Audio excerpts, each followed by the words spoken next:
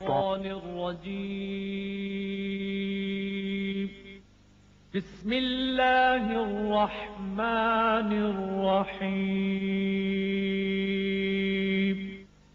کیا یہ لوگ قرآن میں غور نہیں کرتے؟ یا ان کے دلوں پر قفل پڑے ہوئے ہیں؟ امتی کے لیے۔ اعوذ باللہ من الشیطان الرجیم۔ بسم اللہ الرحمن الرحیم۔ السلام علیکم ورحمۃ اللہ وبرکاتہ۔ ہمارا آج کا موضوع تلاوت کلام پاک ہے۔ ناظرین کرام، یہ مہینہ رمضان المبارک کا بابرکت مہینہ۔ اس میں سب سے بڑی عبادت خود قرآن مجید کی تلاوت ہے۔ اسی مبارک مہینہ میں اللہ تعالیٰ نے قرآن مجید کو نازل کیا۔ اور آپ صلی اللہ علیہ وآلہ وسلم نے ہمیں تلاوت کلام پاک کی اہمیت ان الفاظ میں بتائی۔ حضرت ابن عمر کہتے ہیں کہ آپ صلی اللہ علیہ وآلہ وسلم نے فرمایا کہ دلوں کو بھی زنگ لگ جایا کرتا ہے، جیسے لوہے کو زنگ لگ جاتا ہے۔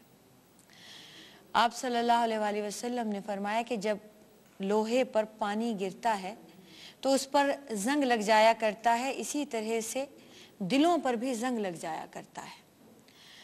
آپ سے عرض کیا گیا، یا رسول اللہ، ان دلوں کو جلا بخشنے والی کیا چیز ہے؟ آپ نے فرمایا، دو چیزیں ہیں۔ موت کو اکثر یاد کیا کرو اور قرآن مجید کی تلاوت کیا کرو۔ تلاوت کرنا پڑھنے کو کہتے ہیں۔ موت کی یاد اور قرآن کی تلاوت دو باتیں ایسی ہیں جو مردہ دلوں کو زندہ کر دیں گی۔ جو دلوں کے زنگ کو صاف کرنے کا باعث ہے۔ موت کی یاد خواہشات نفس کی غلامی سے آزاد کرے گی اور قرآن کی تلاوت اللہ کی معرفت سے آگاہ کرے گی۔ قلوب کے تزکیہ کے لیے یہ دونوں چیزیں درکار ہیں۔ خواہشات نفس پر جب تک آدمی کو قابو حاصل نہ ہو، خواہشات نفس پر جب تک آدمی کو قابو حاصل نہ ہو، دل کبھی بھی غفلت اور قدورت سے پاک نہیں ہو سکتا۔ آپ صلی اللہ علیہ وآلہ وسلم نے فرمایا، تم اپنی آوازوں سے قرآن مجید کو زینت بخشو۔ یعنی قرآن مجید کو خوبصورت خوش الہانی سے سنوار سنوار کر اچھے طریقے سے پڑھو۔ اپنی آوازوں سے قرآن کو زینت بخشو۔ آپ صلی اللہ علیہ وآلہ وسلم نے فرمایا، اللہ تعالیٰ کسی بھی چیز کو اتنی توجہ سے نہیں سنتا جتنی توجہ سے وہ نبی کو قرآن پڑھتے ہوئے سنتا ہے۔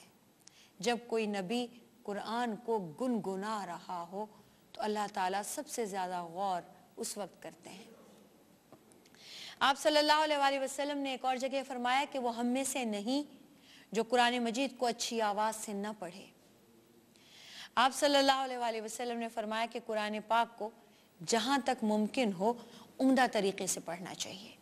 دل میں سوز و گداز ہو، لہجہ میں خوش آہنگی ہو، الفاظ کے ساتھ ساتھ قرآن کے معنی اور مطالب کی طرف بھی توجہ ہو۔ آپ سے پوچھا گیا، یا رسول اللہ، قرآن مجید پڑھنے میں زیادہ خوش آواز کس کو کہتے ہیں؟ آپ نے جواب دیا، وہ شخص کہ جب تو اسے قرآن پڑھتے سنے تو تجھے محسوس ہو کہ تو اللہ سے ڈر رہا ہے۔ عزیزان گرامی، در حقیقت حسن صوت میں اسی وقت جان پڑتی ہے جب اس میں دل کی کیفیت شامل ہو۔ ایسی آواز جس میں دل کی کیفیات شامل نہ ہوں، وہ دلوں پر اثر بھی نہیں کرتی۔ دلوں پر اثر انداز بھی وہی آواز ہوتی ہے جس میں آپ کے دل کی کیفیت شامل ہو۔ حضرت ابو بکر صدیق رضی اللہ تعالیٰ عنہ جب تلاوت فرماتے تھے تو کافر مرد، عورتیں اور بچے ارد گرد آ کر کھڑے ہو جاتے تھے اور رونا شروع کر دیتے تھے۔ وہ حضرت ابو بکر کو تلاوت کرتے دیکھ کے ان کی کیفیات ان کے دل پر اثر کر جاتی تھیں اور وہ اللہ سے ڈرنے لگتے تھے۔ باوجود اس کے کہ وہ کافر تھے۔ عزیزان گرامی، حضرت ابن عباس سے روایت ہے کہ آپ نے فرمایا کہ رسول اکرم صلی اللہ علیہ وآلہ وسلم نے فرمایا جس کے اندر قرآن میں سے کچھ نہ ہو، وہ انسان ویران گھر کی مانند ہے۔ ایک مسلمان عام طور سے اتنا بدنصیب تو کبھی نہیں ہوتا کہ اس کے دل میں، اس کی چھاتی میں قرآن مجید کا کوئی ذرا سا حصہ، چھوٹی سی آیت بھی نہ ہو۔ لیکن اگر خدا نخواستہ کوئی مسلمان ایسا ہے، تو اس کے لیے رسول اکرم صلی اللہ علیہ وآلہ وسلم کی یہ حدیث کو وہ ویران گھر کی مانند ہے۔ اس کا گھر ایسے بنجر اور اجاڑ جیسے ہوتا ہے، ایسے اس کا دل ہے، ایسے وہ انسان ہے۔ اس کے مقابلے میں زندہ انسان وہ ہے، آباد، ہرا بھرا، پھلا پھولا، جس کی چھاتی میں قرآن مجید کا کوئی حصہ یا پورے کا پورا قرآن ہے۔ اس کا مطلب یہ ہے کہ قرآن دلوں کی آبادی کا سبب ہے۔ پاکیزہ سے پاکیزہ کلام بھی قرآن کا بدل نہیں ہو سکتا۔ قرآن ہی صرف دل کی رونق ہی نہیں ہے، یہ ہمارے گھروں کی بہار بھی ہے۔ اور ہمارے گھروں کی زینت بھی ہے۔ اس لیے گھروں کی زینت نہیں ہے کہ حسین خوبصورت قیمتی غلافوں میں سجا کے رکھ دیا جائے اور زینت بنا دیا جائے۔ نہیں، یہ وہ زینت نہیں ہے۔ یہ زینت وہ ہے کہ اس کو جب ہم تلاوت کریں، دلوں کی کیفیات کے ساتھ، سوز و گداز کے ساتھ سمجھ کر، تو اس کا اثر ایک حسن کی صورت میں دلوں پر، گھروں پر، ہماری شخصیات پر، ہمارے بچوں پر آ جائے گا۔ تب یہ قرآن مجید ہمارے اندر داخل ہو جائے گا، ہماری زندگی میں اس کا حق اور حصہ ہو جائے گا۔ اور رمضان المبارک میں یہ عبادت سب سے زیادہ آسان ہوتی ہے۔ جب آپ کو دوسرے معاملات، نوکری چاکری بھی ذرا سہولت سے کرنا ہوتی ہے، وقت آپ کے پاس زیادہ ہوتا ہے، تب آپ تدبر اور تفکر زیادہ سہولت سے، زیادہ آسانی سے اور کلام پاک کو توجہ اور وقت زیادہ فراوانی سے دے سکتے ہیں، جو عام دنوں میں ذرا کم دے سکتے ہیں۔ اسی لیے رمضان المبارک میں یہ عبادت سب سے بڑی عبادت ہے۔ نوافل کے اندر بھی، نماز کی حالت میں بھی اور اس کے بغیر بھی۔ اور یہ صرف تلاوت ہی نہیں، تدبر و تفکر کے ساتھ ہے۔ آپ صلی اللہ علیہ وسلم نے فرمایا، اپنے گھروں کو قبرستان نہ بناؤ۔ یقیناً شیطان اس گھر سے بھاگتا ہے جس میں سورہ بقرہ پڑھی جاتی ہو۔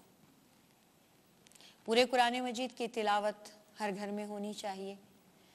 پورے قرآن کو باقاعدگی سے پڑھنا چاہیے۔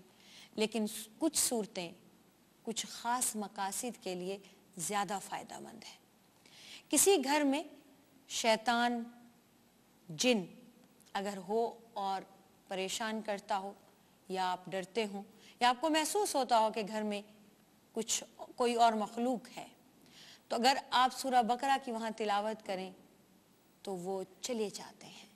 اور یہی آپ صلی اللہ علیہ وسلم نے فرمایا کہ قبرستان بے رونق ہوتے ہیں، غیر آباد ہوتے ہیں، وہاں جا کر شیطان بس جاتے ہیں، جنات بس جاتے ہیں۔ اور جس گھر میں سورہ بقرہ پڑھی جاتی ہو وہاں جنات نہیں رہ پاتے ہیں۔ اور جس گھر میں قرآن نہ پڑھا جاتا ہو، وہ گھر قبرستان کی مانند ہے کہ اس میں مردے رہتے ہیں، اس میں جنات اپنا ڈیرا لگاتے ہیں، اس میں شیاطین جا کر رہنے لگتے ہیں۔ معلوم ہوا کہ جس گھر میں قرآن کی تلاوت نہ ہو، وہ گھر قبرستان ہے، ویران ہے، اس میں کوئی زندگی نہیں۔ شیطان یہی چاہتا ہے کہ لوگ حقیقی زندگی سے دنیا اور آخرت میں محروم رہیں۔ اور اگر گھر میں تلاوت قرآن ہو تو شیطان کا مکر و فریب وہاں نہیں چل سکتا۔ وہ گھر آباد ہو جاتا ہے، وہ انسان زندہ ہو جاتا ہے۔ سورہ البقرہ قرآن کی سب سے بڑی صورت ہے، جس کی تلاوت سے آدمی یا انسان، مرد یا عورت اپنے آپ کو شیطانی حربوں سے دور رکھ سکتے ہیں۔ آپ صلی اللہ علیہ وآلہ وسلم نے فرمایا، جو شخص قرآن پڑھے پھر اسے بھلا دے یعنی یاد کرے، پھر اسے بھلا دے۔ وہ قیامت کے روز اللہ سے اس حال میں ملے گا کہ اس کا جسم کٹا ہوا ہوگا۔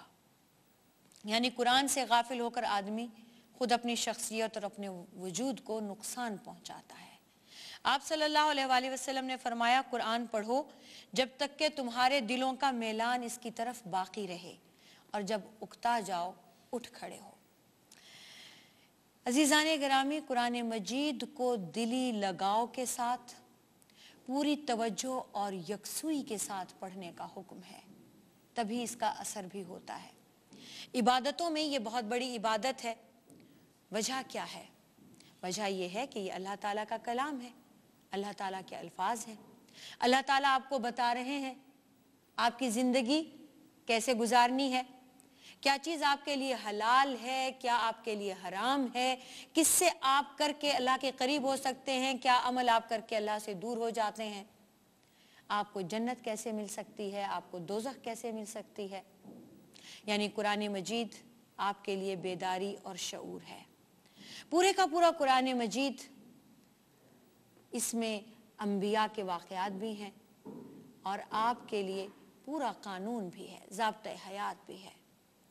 اب اگر آپ اس کی تلاوت کرتے ہیں اور پوری یکسوئی کے ساتھ، پوری توجہ کے ساتھ کرتے ہیں، سمجھتے بھی ہیں، تو آپ کو اس کا مزہ آ جاتا ہے۔ آپ کی شخصیت میں نکھار پیدا ہو جاتا ہے، آپ کو اس کا فائدہ ہوتا ہے۔ اور اگر ایسا نہیں ہوتا، آپ محسوس کرتے ہیں، محض رسم ادا کرنے کے لیے تلاوت کر جانا اور دل اس کی طرف مائل نہ ہو، لذت نہ ہو مزہ نہ آ رہا ہو، سمجھ نہ آ رہی ہو، جینا چاہ رہا ہو، تو اس کا فائدہ نہیں ہوگا۔ اور آپ کو حیرت ہوگی کہ جب آپ کلام پاک کی تلاوت میں مصروف ہوتے ہیں، شیطان اس وقت سب سے زیادہ حملہ آور ہوتا ہے۔ اس وقت نیند آ جاتی ہے۔ بہت محسوس ہوتی ہے سستی۔ جی چاہتا ہے کہ اسے بند کریں، سو جائیں۔ یا قرآن مجید پڑھتے پڑھتے بار بار نیند کا غلبہ ہو رہا ہوتا ہے یہاں آپ قرآن مجید کو بند کریں، وہاں آپ ایکٹیو اور فریش ہو جاتے ہیں۔ وہ اس لیے کہ اللہ تعالیٰ آپ کی طرف توجہ فرماتے ہیں۔ آپ اللہ کی طرف جب توجہ دیتے ہیں، اللہ آپ کی طرف توجہ فرماتے ہیں۔ اور شیطان یہ وقت آنے نہیں دینا چاہتا کہ آپ پوری یکسوئی کے ساتھ دنیا کی ہر چیز سے کٹ کے پورے کے پورے اللہ کی طرف متوجہ ہو جائیں اور اللہ تعالیٰ نتیجے میں آپ کی طرف متوجہ ہو جائے اور آپ کے رتبے بلند ہو جائے اور آپ کی شخصیت بدل جائے اور اللہ تعالیٰ آپ کے پچھلے تمام گناہ معاف کر کے آپ کو پھر سے نیا کر دیں اور اس کلام پہ توجہ کر کے، تدبر اور تفکر کر کے آپ کی شخصیت میں نکھار آ جائے۔ تو جتنی محنت وہ کر چکا ہوتا ہے خراب کرنے میں، گناہ کرنے اور کرانے میں، وہ ضائع ہو جائے گی۔ اس لیے وہ یہ محنت کرتا ہے کہ آپ قرآن مجید پہ توجہ ہی نہ دیں۔ اس کو سمجھنے میں بھی توجہ نہ دیں۔ اور پوری یکسوئی سے اور دل کے میلان کے ساتھ اس کی تلاوت نہ کریں۔ اس لیے آپ صلی اللہ علیہ وسلم نے فرمایا کہ جتنی دیر بھی پڑھ سکو، بھلے تھوڑا پڑھو، ایک تو باقاعدگی سے پڑھو۔ اور دوسرے، توجہ سے، محبت سے دل لگا کے، بھلے تھوڑا ہی کیوں نہ ہو، مستقل ہو اور توجہ کے ساتھ ہو۔ اکتاہٹ اور بیزاری کے ساتھ نہیں۔ آپ صلی اللہ علیہ وآلہ وسلم نے فرمایا کہ اللہ کا ارشاد ہے کہ جس شخص کو قرآن مجید کی تلاوت نے مشغول رکھا اور اسے اتنی فرصت بھی نہ دی کہ وہ میرا ذکر کرتا اور یا مجھ سے دعا مانگتا، تو میں اس کو، اس سے بہتر عطا کروں گا جو سوال کرنے والوں کو عطا کرتا ہوں۔ یعنی اس نے زیادہ تر اوقات، زیادہ وقت اپنا تلاوت کلام پاک میں گزار دیا اور جب اس کے پاس وقت نہ بچا کہ وہ دعا بھی مانگتا یا اور بیٹھ کر کوئی ذکر کرتا، تو اللہ تعالیٰ فرماتے ہیں کہ اس کی دعائیں، جو اور لوگ دعائیں مانگنے والے ہیں، ان سے زیادہ میں خود قبول کر کے اسے عطا کر دوں گا۔ جو اس کے دل میں دعائیں ہوں گی، وہ میں خود سے اسے دے دوں گا، اور وہ لوگ جو دعائیں مانگتے ہیں، ان سے بھی زیادہ میں اسے دے دوں گا، کیونکہ اس نے اپنا وقت تلاوت میں لگایا۔ اور وہ جو وقت ذکر میں لگاتا، اگر تلاوت میں نہ لگاتا لیکن چونکہ اس نے تلاوت میں وقت لگایا اور اس کے پاس فرصت نہ ہوئی کہ وہ بیٹھ کر ذکر کرتا، تو ذکر کرنے والوں کو جتنا اجر اللہ تعالیٰ فرماتے ہیں کہ وہ دیں گے، وہ اس شخص کو بغیر ذکر کیے ہی دے دیں گے۔ اس کی وجہ کیا ہے؟ اس کی وجہ یہ ہے کہ قرآن مجید ذکر کی سب سے بڑی قسم ہے۔ اللہ تعالیٰ نے قرآن مجید کے لیے خود فرمایا، انا نحن نزلنا ذکر و انا لہو لحافظون اس ذکر کو، اس نصیحت کو یقیناً ہم ہی نے نازل کیا ہے، ہم اس کی حفاظت بھی کریں گے۔ تو ذکر کی، اللہ کی یاد کی، اللہ کی نصیحت کی سب سے بڑی قسم قرآن مجید ہے۔ قرآن مجید کی تلاوت ہے۔ اس کے ذریعے ہم اللہ کے بہت قریب ہو جاتے ہیں۔ اللہ تعالیٰ فرماتے ہیں کہ میں اپنے کلام میں چھپا ہوا ہوں۔ جس کو مجھ سے ملنا ہو، وہ مجھے میرے کلام میں ڈھونڈ لے۔ کلام کیا ہے؟ قرآن مجید ہے۔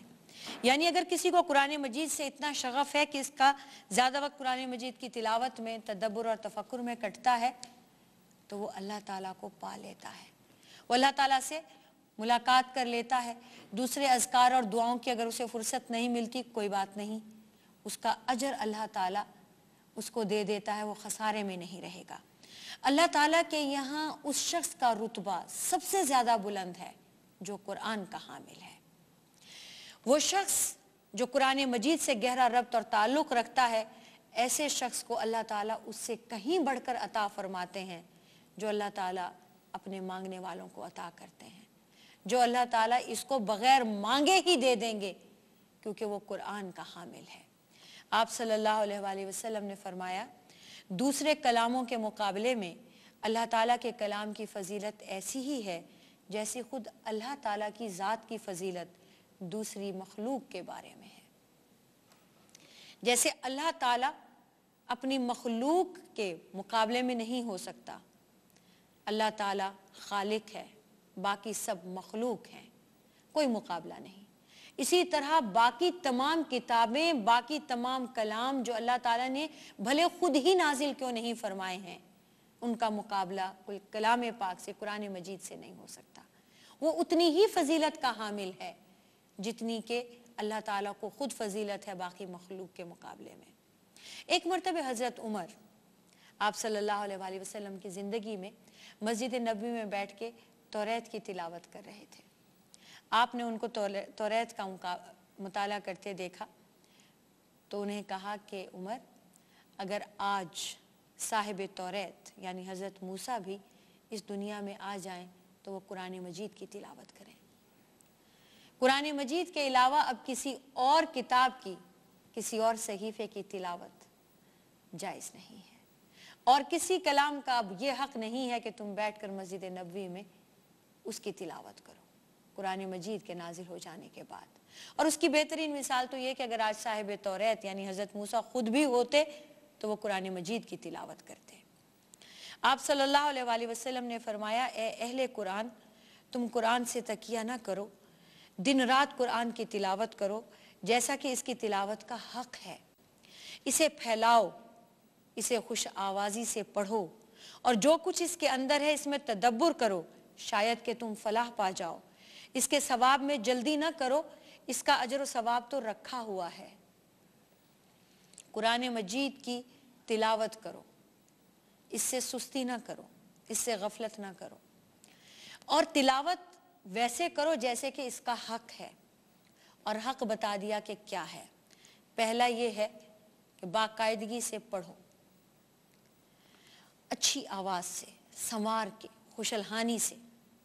تجوید کے ساتھ اس کے جو اصول و ضوابط ہیں، جو قاعدہ قانون ہے اس کی تلاوت کا اس کے ساتھ، اسے تجوید کہتے ہیں۔ اچھی طرح سنوار کے پڑھنا۔ ویسے پڑھو، اسے پھیلاؤ۔ صرف خود ہی نہیں پڑھو، دوسروں کو بھی بتاؤ۔ یہ مزہ، یہ لذت جو تمہارے منہ کو لگ چکی ہے، یہ دوسروں کو بتاؤ۔ انہیں بھی یہ مزہ لگا دو۔ ایک بار وہ بھی اسے پڑھنے اور سمجھنے لگے، یہ لذت ان کے بھی منہ کو لگ جائے کہ اللہ کے کلام میں کیا ہے۔ تو یہ کلام کا حق ہے، یہ قرآن مجید کا حق ہے۔ اور جو کچھ اس میں ہے، اس پہ تدبر بھی کرو۔ صرف پڑھنا اور پھیلانا ہی نہیں، اس پہ غور بھی کرو تاکہ اللہ کی قربت حاصل ہو۔ اس کو کلام مجید پہ، قرآن مجید پہ غور کر کے ہمیں اللہ کی پہچان حاصل ہوتی ہے۔ پوری کائنات پہ توجہ ہوتی ہے، غور کرنے کا موقع ملتا ہے۔ ہمیں اس سے اور زیادہ اللہ کی قربت کا احساس ہوتا ہے۔ اور اس میں کہ اگر یہ تم کر لوگے تو پھر فلاح پا جاؤ گے اور یہ نہ سمجھو کہ اس کا ثواب بظاہر فوراً کیا ہے۔ وہ طے ہے، وہ تمہیں مل کے رہے گا۔ وہ ہر حالت میں تمہارا ہے۔ آپ صلی اللہ علیہ وآلہ وسلم نے یہ جو فرمایا نا کہ تکیہ نہ کرو، اس کا مطلب ہے کہ اس سے غافل نہ ہونا، اس کے حقوق پہچاننا۔ ایسا نہ کرنا، اسے اگنور نہ کرنا۔ یہ نہیں ہے کہ ہماری کتاب ہے، ہماری پہچان ہے، ہم مسلمان ہیں، یہ ہمارا قرآن مجید ہے، بس کافی ہے۔ یہ ہم سے کوئی لے تو نہیں سکتا، ہمارا ہی رہے گا۔ یہ تکیہ کرنا ہے۔ ہم نے رکھا ہے، سجا کے رکھا ہے، گھر میں ہے، ایک نہیں، کئی کئی ہیں۔ اور خدا نہ خواستہ، نعوذ باللہ، جب کبھی جھگڑا ہوگا اٹھا لیں گے، کوئی فوت ہو جائے گا تب پڑھیں گے۔ یعنی اس کو ہم نے موقعوں کے لیے سنبھال رکھا ہے۔ اب یہ موقع آئے گا، اب وہ موقع آئے گا، اب اس موقع میں پڑھ لیں گے۔ نہیں، یہ اس سے غفلت ہے، اس سے سستی ہے، کوتاہی ہے۔ اس کا ہے کہ تکیہ نہ کرو۔ اور پھر یہ ہے کہ اس کی اشاعت میں حصہ لو، اس کو پھیلاؤ بھی۔ خود بھی پڑھو، درس و تدریس بھی کرو، تعلیم اور تفسیر کا اہتمام کرو، خود بھی سیکھو، دوسروں کو بھی سکھاؤ۔ اور اللہ تعالیٰ کے احکامات پر تدبر بھی کرو، کیونکہ اس کے بغیر قرآن مجید کی صحیح قدر و قیمت کا تمہیں احساس نہیں ہوگا۔ اور اس کے بعد فلاح یابی تمہارا مقدر ہے۔ عزیزان گرامی، آئیے اللہ تعالیٰ سے دعا کرتے ہیں۔ کہ ہمیں وہ تلاوت کلام پاک کا حق ادا کرنے کی توفیق عطا فرمائے۔ اور عہد کرتے ہیں اس رمضان المبارک میں انشاءاللہ ہم یہ حق ادا کرنے کی کوشش کریں گے۔ واخر الدعوانا ان الحمدللہ رب العالمین۔ شکریہ۔ اے اللہ پاک، پیارے نبی پاک کے صدقے میں ہمیں قرآن کریم پڑھنے، اس کو سمجھنے اور اس پر عمل کرنے کی توفیق عطا فرما۔ اے اللہ پاک، پاکستان کو اپنے حفظ و امان میں رکھ اور اس کی حفاظت فرما اور ہمارے والدین، اہل و عیال اور تمام مسلمان مردوں اور عورتوں کو بخش دے۔ آمین۔ ثم